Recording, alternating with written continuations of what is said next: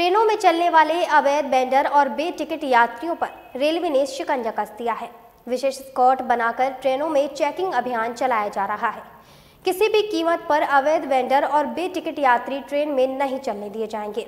यह कहना है, मंडल वाणिज्य प्रबंधक प्रशस्ति श्रीवास्तव का।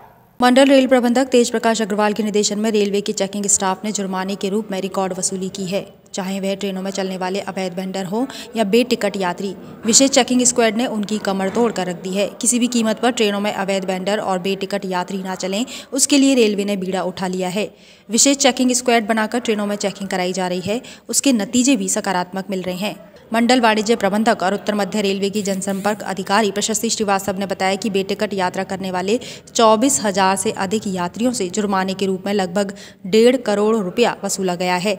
वहीं अवैध वेंडरों की धरपकड़ करके तीस हज़ार से अधिक जुर्माने के रूप में वसूली की गई है और इस चेकिंग अभियान से रेलवे को बड़ी कामयाबी भी मिली है। पूरे मंडल में अवैध वेंडर और बेटिकट यात्रियों पर शिकंजा कसने के लिए और भी कई टीमें लगाई जा रही हैं। किसी भी कीमत पर अवैध वेंडर और बेटिकट यात्रा करने वाले यात्रियों को ट्रेनों में नहीं चलने दिया जाएगा।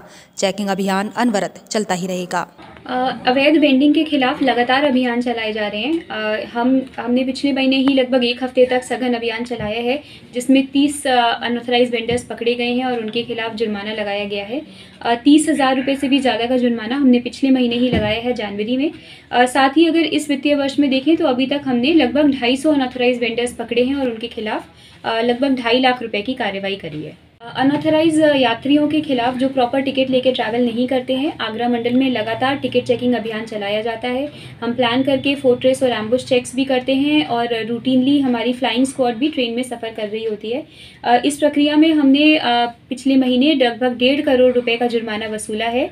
इसमें लगभग चौबीस हज़ार से अधिक यात्रियों के खिलाफ कार्रवाई करी गई है। अवैध वेंडर और बेटिकट यात्रियों के कारण रेलवे की साख में काफ़ी गिरावट आई है और रेलवे को बेटिकट यात्रियों से काफ़ी राजस्व का नुकसान नुकसान भी हुआ है। वहीं ट्रेनों में चलने वाले अवैध बैंडरों ने भी यात्रियों से अवैध वसूली कर रेलवे की छवि खराब करने का प्रयास किया है। लेकिन अब रेलवे ने ऐसे अवैध वेंडर और बेटिकट रेल यात्रियों के खिलाफ चेकिंग अभियान चलाकर काफ़ी हद तक अंकुश लगाने का प्रयास किया है। अगर चेकिंग अभियान ऐसे ही चलता रहा तो रेलवे को मुनाफे के साथ साथ अवैध बैंडरों और बेटिकट यात्रियों पर अंकुश लगाने में बड़ी कामयाबी मिल सकती है। मून न्यूज़ के लिए राकेश शुक्ला की रिपोर्ट।